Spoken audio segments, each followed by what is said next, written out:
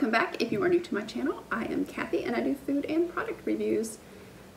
And I usually like to do, like past few months, I usually like to do like several different new food products um, that I find. I like to do them all in one video. I haven't been able to find much. I don't know what's going on, but I haven't found much. I did find something today. Um, first, I would like to say I love, love, love the Cheddar Bay biscuits at Red Lobster. Only reason I would, only reason I would go to Red Lobster. Not, I haven't been in a couple years, but I love them. That could be my home meal. It's like biscuits, bread, my weakness, carbs. Love the carbs. But they don't love me. But anyway, love the biscuits. So you probably know that in the store you can buy the Red Lobster um, biscuit mix. You'd have to add, I think, cheese, maybe butter. I'm not sure. It's been a while since I made those. But those are really good. Not quite as good as the restaurant, but pretty good.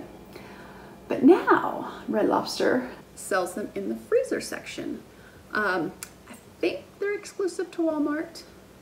I'm not positive, but I'm pretty sure. But I won't be reviewing those today because my Walmart didn't have any. But when I was searching my Publix today, I did come across these today, the Pillsbury biscuits, garlic cheddar. First time I've seen these. Um, it does say new, new flavor. I am a fan of the Pillsbury biscuits. I think for, you know, I think they're good. I think I like them better than the can. These are frozen. Um, and, you know, I've had the Pillsbury biscuits many, many times. So when I opened the bag, I was a little surprised to see how small they were. Not that small, but compared to the regular biscuits, they are smaller. And there was, came 15 in this, in this bag. I believe it was 4.69, something like that. And the Red Lobster ones at Walmart, I think are like 4.89. And I think you get eight, where this is um, 15.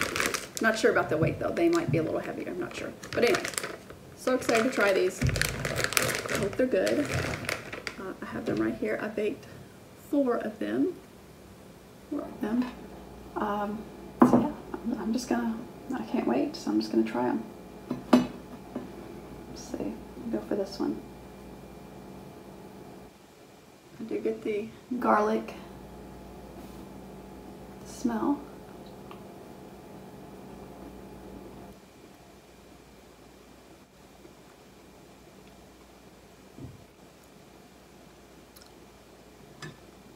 Usually my face says it all, so you could probably end this video right now and know. Um, eh, I get I get a little garlic. The cheddar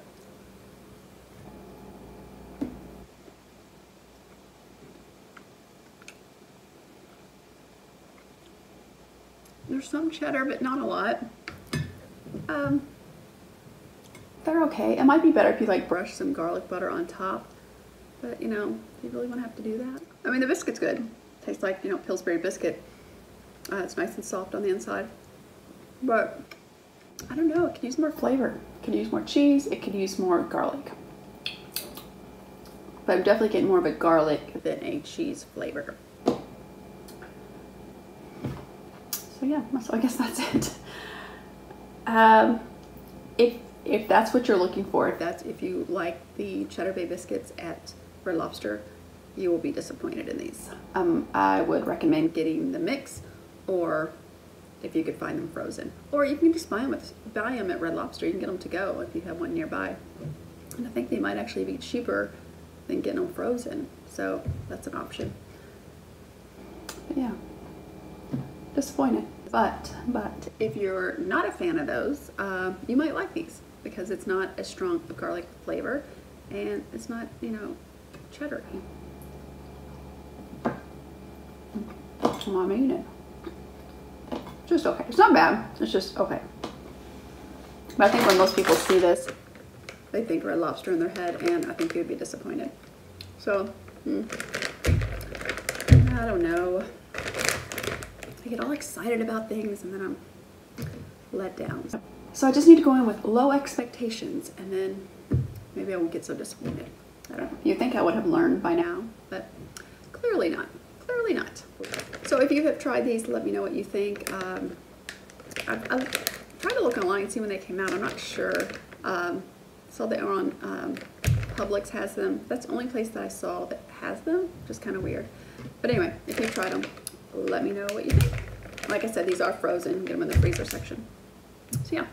All right, so that brings me to the joke of the day. Thanksgiving joke. What are turkeys thankful for on Thanksgiving? Let me know your guess in the comments below and I will post the answer on my social media stories.